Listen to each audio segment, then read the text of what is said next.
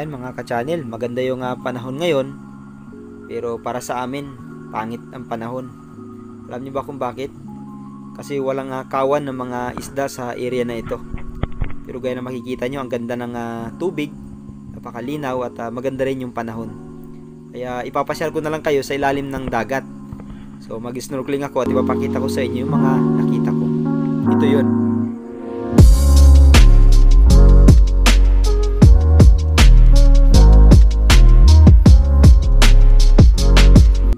Ayan mga ka-channel, ang ganda gaya na makikita nyo. Alam nyo ba kung ano yan? Yan ang tinatawag na sea anemone. At yung mga isda ay ang tinatawag natin na clownfish o kaya ay Nemo. At meron silang tinatawag na symbiotic relationship. Alam nyo ba kung ano yon? Ang ibig sabihin, ang Nemo o ang clownfish, nililinis niya ang uh, sea anemone. Nagtutulungan sila at ang ginagawa naman ng si anemone, pinoprotektahan nito ang Nemo sa mga ibang isda na gustong kumain sa kanila.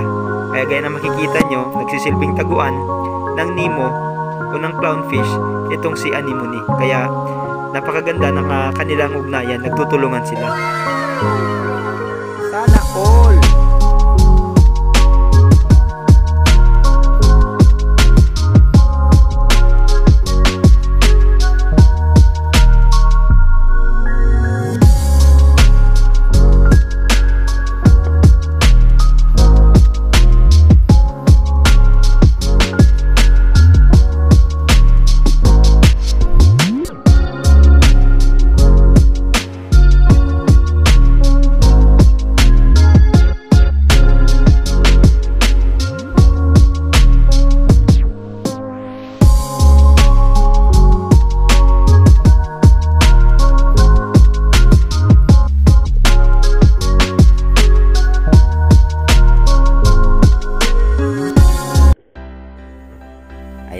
Ka-channel, ang ganda rin ito.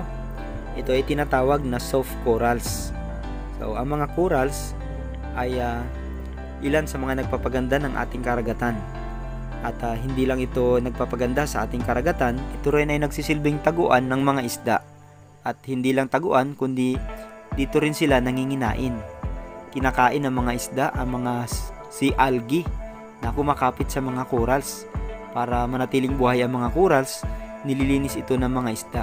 Kaya wag nating abusuhin ang ating karagatan sa pamagitan ng paggamit ng cyanide o kaya ay dynamite dahil uh, sinisiran nito ang mga corals at pinapatay din ito ang maliliit na mga isda.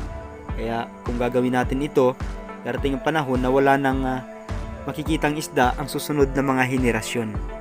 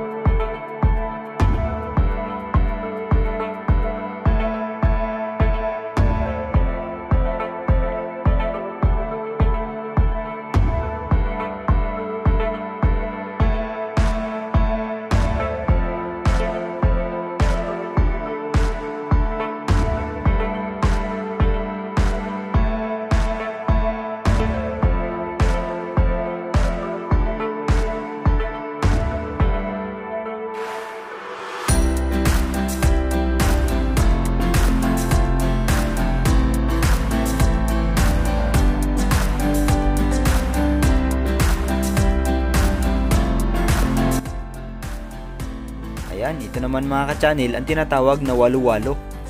Isa ito sa mga kinakatakutan ng marami dahil sa kamandag nito. Pero ang walu-walo ay hindi naman nangangagat kung hindi natin siya sasaktan. Kaya kung uh, lalapitan natin siya ng dahan-dahan at hindi natin gugulatin, hindi niya tayo kakagatin.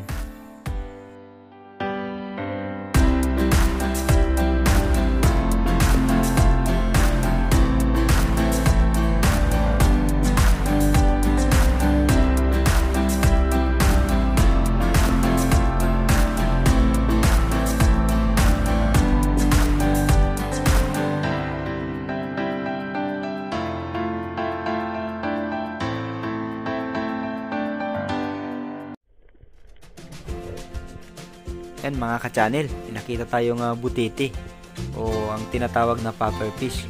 Hindi siya lumulobo kung hindi natin siya hahawakan.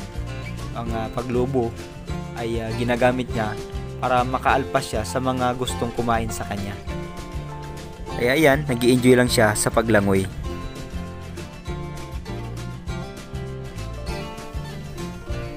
Ito naman mga ka-channel ay ang uh, lionfish. Ang lionfish ay isa sa mga tinaguri ang pinakamakamandag na isda sa buong mundo. Kaya sa nakikita natin, parang uh, mukhang uh, maganda siya. Pero napakasakit niyan kapag uh, natinik tayo ng uh, lionfish.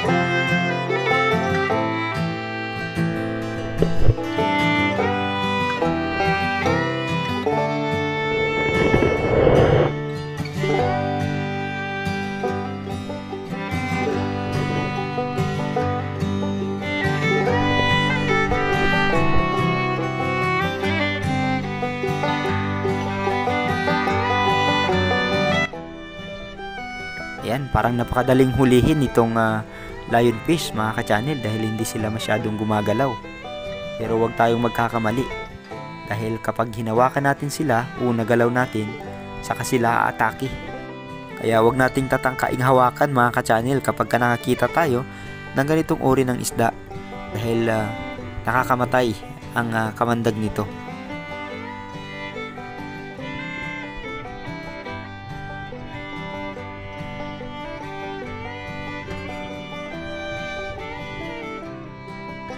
Ayan oh, mga ka-channel, napakarami nila andyan sa ilalim. Kaya panoorin na lang natin sila.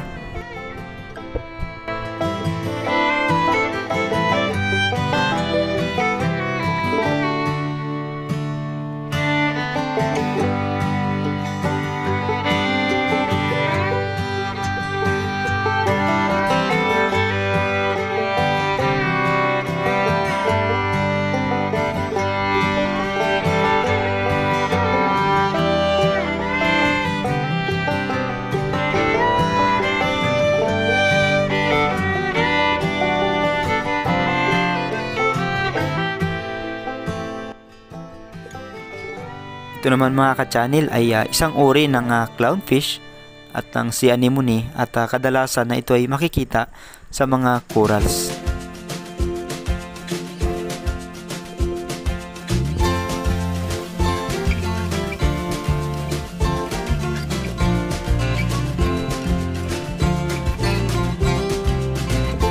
Shoutout nga pala sa Olmedo family at uh, Villa Hermosa family. Sana po ay uh, mapanood nyo ang uh, video na to. Maraming salamat po sa support nyo.